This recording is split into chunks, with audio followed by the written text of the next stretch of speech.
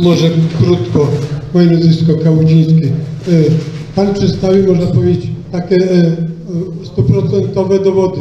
To dlaczego ci ludzie z Komorowskim na czele nie siedzą w więzieniu? To tyle. To jest, to jest pytanie, które ja zadałem niedawno mojemu koledze, który kiedyś odpowiadał za wizerunek pary prezydenckiej, a dzisiaj także odpowiada za różne działania z gatunku PR, public relation dotyczące obecnego rządu. I ten kolega przedstawił mi to w taki oto sposób. Mówi do mnie, wyobraź sobie, że Komorowski zostaje e, aresztowany, albo nawet nie aresztowany, tylko stawiają mu zarzuty karne e, i on idzie do sądu i jest oskarżony o przestępstwo, za które grozi mu więzienie. E, Mówi do mnie kolega, zrób sobie takie ćwiczenie na wyobraźnię i wyobraź sobie i pyta mnie, czy słyszysz ten skowyt, który rozlega się od Berlina po Alaskę? Czy słyszysz o tym, jak ta cała Unia i Stany Zjednoczone i nie tylko krzyczą, że jesteśmy państwem dyktatorskim? że Kaczyński i inni to szaleńcy i tak dalej. Kolega mnie pyta, czy słyszysz?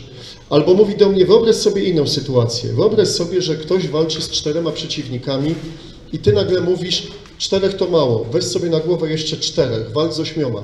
Innymi słowy, mój kolega PR-owiec, który pracuje gdzieś tam przy rządzie, tłumaczy mi tą powściągliwość takimi działaniami, że jest wiele otwartych frontów, trzeba pewne fronty pozamykać i dopiero otworzyć nowe.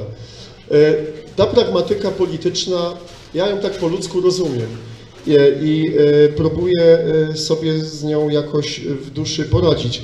Z drugiej strony, jako obywatel tego kraju, chciałbym, żeby ja, czy państwo, czy ktokolwiek inny, jeżeli zrobimy coś złego, to żebyśmy byli tak samo traktowani, bez względu na to, czy obywatel nazywa się Sumniński, Iksiński czy Komorowski. Innymi słowy, żeby nie było jak w folwarku zwie- zwierzęcym e, Orwella, gdzie byli równi i równiejsi, tylko żebyśmy byli wszyscy równi.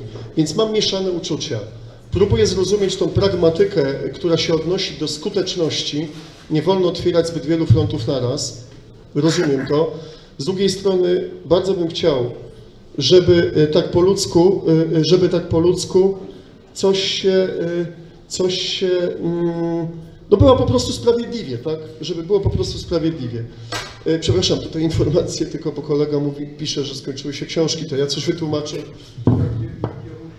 Ale ja chciałem Państwu powiedzieć tak, że dla wszystkich książek starczy, najwyżej nie starczy dla czytelników z Piły, do której jedzie Pan redaktor, ale dla Olsztyna starczy na pewno, więc proszę się nie denerwować, nie tworzyć kolejki społecznej, a Pan redaktor kontynuuje. Więc e, tak jak mówię, z jednej strony to rozumiem, a z drugiej strony się trochę przeciw temu burzę i mam mieszane uczucia.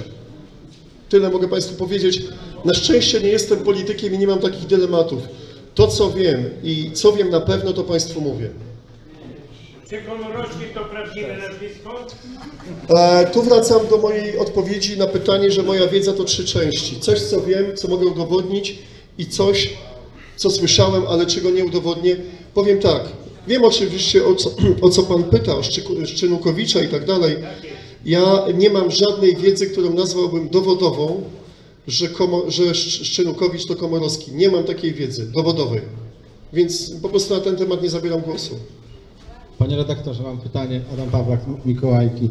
Y, Jak pan skomentuje to, bo w telewizji pokazali któregoś dnia, że y, jakieś y, prokuratura chyba weszła do VAT-u.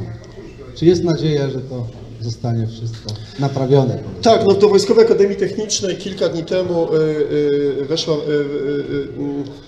rozpoczęły się aresztowania.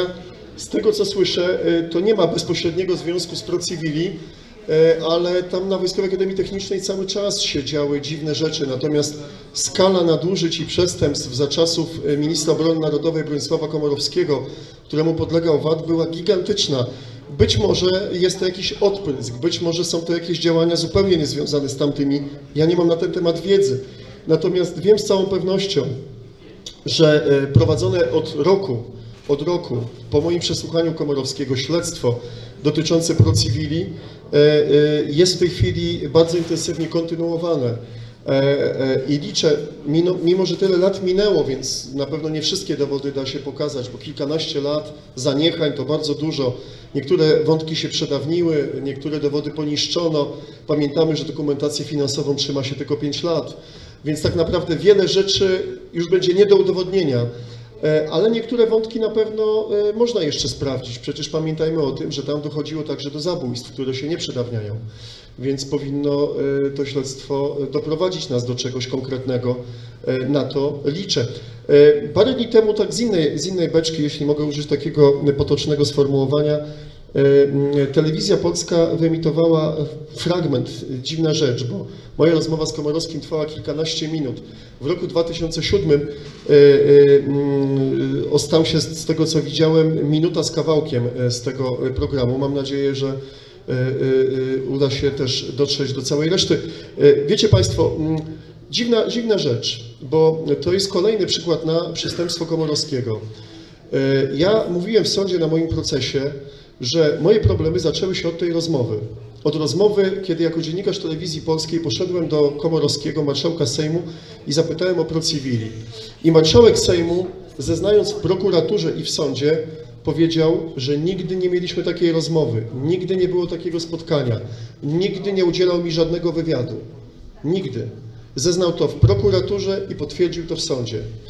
Więc nawet ten drobny fragment, który się ostał, to ja pytam, czym on był? Jeżeli na, nie dowodem na to, że Komorowski kłamał, zeznając pod odpowiedzialnością karną. To jest jeden z wielu, wielu dowodów na to, że popełniał przestępstwo. Y, Sekwencja wydarzeń była taka, troszkę odpatrzę z pańskiego pytania, ale nasunęło mi się to w tej chwili ten wątek. Y, y, W styczniu, na przełomie grudnia i stycznia 2006-2007 roku prowadzę rozmowę, ten fragment, który był pokazany, to była ta rozmowa właśnie z Bronisławem Komorowskim. Mija kilka dni po tej rozmowie i jego kolega, pułkownik Leszek Tobiasz, rozpoczyna działania operacyjne, które mają mnie doprowadzić na ławę oskarżonych.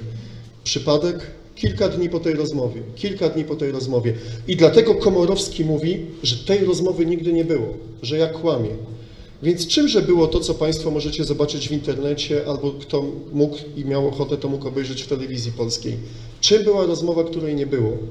Więc to jest zdumiewające, e, e, że Bronisław Komorowski rzeczywiście e, tak długo mm, pozostaje człowiekiem bez aktu oskarżenia, choć jest tyle widocznych jak na dłoni dowodów jego przestępstw i matactw. Jak mówię, no, czekam na ten moment, kiedy Bronisław Komorowski zostanie Bronisławem K. Nie chodzi o żadną zemstę. Chodzi wyłącznie o to, żeby prawo było takie samo dla wszystkich, dla każdego z Państwa i dla obywatela Komorowskiego.